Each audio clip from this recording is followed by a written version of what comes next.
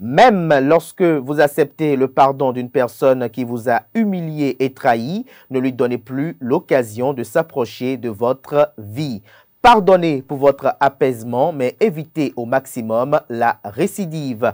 Une personne sans vergogne qui vous a offensé consciemment, qui vous a trahi ou qui vous a humilié une fois, le refera à coup sûr. Domestiquer un fauve ne lui ôte en rien sa nature sauvage. D'aucuns diront qui a bu boira.